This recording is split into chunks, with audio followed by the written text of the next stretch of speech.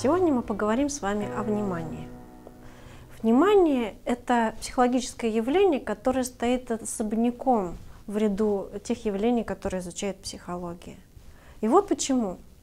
Попытки вычленить внимание как отдельный от психологических процессов не привели к успеху. Внимание присутствует в каждом процессе, который изучает психология, во всей нашей психологической деятельности. Но непосредственно связанное с ним, оно не может быть выделено как отдельная субстанция. Поэтому до сих пор существуют споры относительно того, есть ли такое явление, как внимание, или его вообще не существует. Тем не менее, как в нашей э, жизни мы часто используем это понятие, поэтому мы будем все-таки вставать на сторону тех, которые выделяют его среди всех психологических явлений.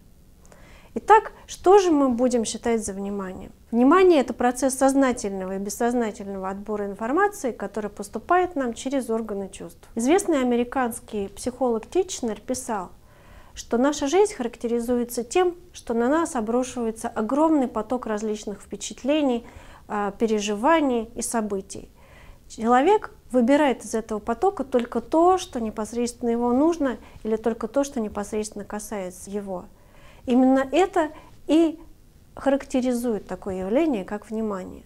Вот, например, сегодня вы слушаете мою лекцию, но между тем вы сидите на стуле или на диване, а ваши ноги сжимают тапочки или ботинки, но а, уделяя внимание мне, вы не обращаете внимания на те дополнительные обстоятельства, которые окружают вас.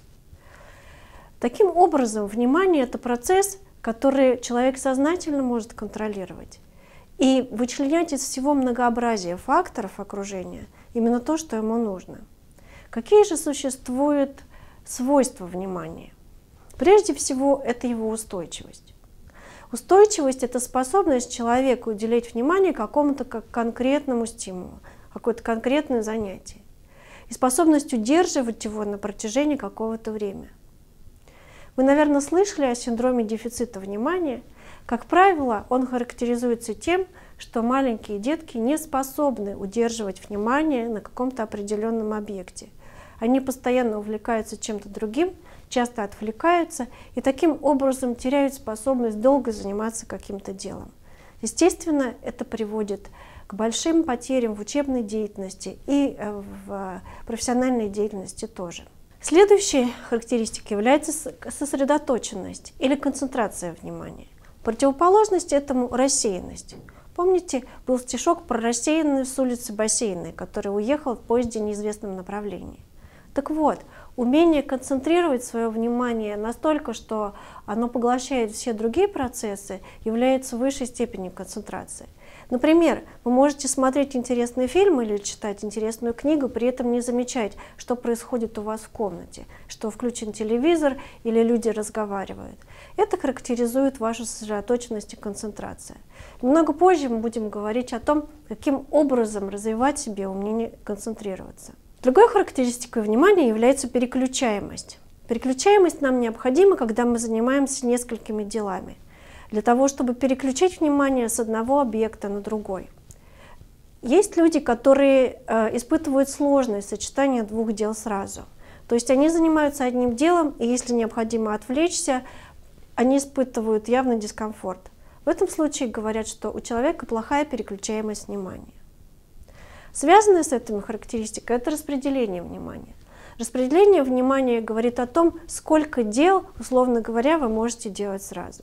Конечно, описание это условно, сразу невозможно делать больше одного дела, но можно делать это благодаря переключаемости.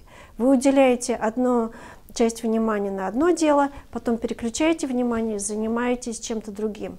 Но в то же самое время вы сохраняете себя а, в состоянии активно э, и помните то, что произошло в вашем первом деле. Как правило, женщины отличаются большей распределенностью внимания, чем мужчины, потому что им необходимо делать много дел по дому. То есть они могут сразу варить суп, заниматься с уроками со своими детьми и при этом параллельно вести разговор с подругой. Еще одной характеристикой внимания является его объем. Как правило, его приравнивают к объему кратковременной памяти. И говорят о том, что стандартный объем внимания это 5 или 7 единиц. Что такое единицы? Единицы это те какие-то кусочки информации, которые мы запоминаем. Это могут быть номера телефонов, или имена, или какие-то слова. Часто проверяют объем внимания через простую игру. Раскладывают на столе несколько разнообразных предметов, потом человека просят их запомнить и убирают их. Сколько предметов он сможет назвать, как правило, характеризует именно и объем внимания. Стандартной величиной, как я уже сказала, является 5-7 единиц.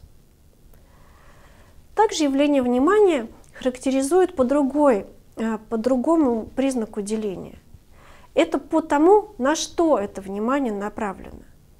В этом отношении внимание может быть внешним или внутренним. Внешнее внимание – это внимание направлено на какой-то объект. Например, а, вы играете в игру, скажем, баскетбол, и игрок на протяжении всей игры уделяет активное внимание мячу. Он ждет передачи, когда этот мяч прилетает к нему, он готов отправить его в ворота или сделать другой пас. Это внимание внешнее, когда внимание уделяется какому-то объекту или явлению вне человека. Внутреннее внимание направлено на то, чтобы отслеживать процессы, происходящие у вас э, в разуме, а, отдавать отчет в том, что происходит с вами. Именно внутреннее внимание нужно при совершении различных заданий в вашей образовательной деятельности. Вас требует продумать, каким образом будет построена ваша курсовая работа. Или вам требуется проследить, как на протяжении истории менялось то или иное учение. Это требует большой сосредоточенности и внутреннего интеллектуального внимания.